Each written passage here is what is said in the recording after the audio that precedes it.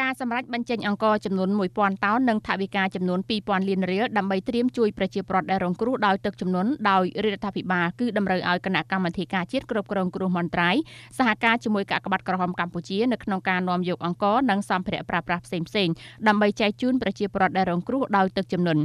រាជរដ្ឋាភិបាលបានណែនាំដល់ក្រសួងស្ថាប័ននិងរដ្ឋបាលដែនដីគ្រប់លំដាប់ថ្នាក់នៃបណ្ដាខេត្តនានាដែលស្ថិតនៅជាប់ដងទន្លេជាពិសេសខេត្តស្ទឹងត្រែងក្រចេះនិងកំពង់ចាមដែលកម្ពស់ទឹកកំពុងលើសកម្រិតប្រកាសអាសន្នព្រមទាំងខេត្តព្រះវិហារនិងកំពង់ធំដែលរងគ្រោះលិចដោយចំនួនទឹកភ្លៀងត្រូវបង្កើនការប្រុងប្រយ័ត្នខ្ពស់ចំពោះបញ្ហាបាក់ច្រាំងខ្យល់កន្ត្រាក់និងហានិភ័យនានាដែលអាចនឹងកើតឡើងហើយត្រូវត្រៀមជំនះប្រជាពលរដ្ឋ ឲ្យទាន់ពេលវេលាទៅកាន់ទីទួលមានសវត្ថភាពនិងត្រូវយកចិត្តទុកដាក់ខ្ពស់លើបញ្ហាអនាម័យទឹកស្អាតនិងសត្វអាសេរពិសនៅក្នុងរដូវទឹកជំនន់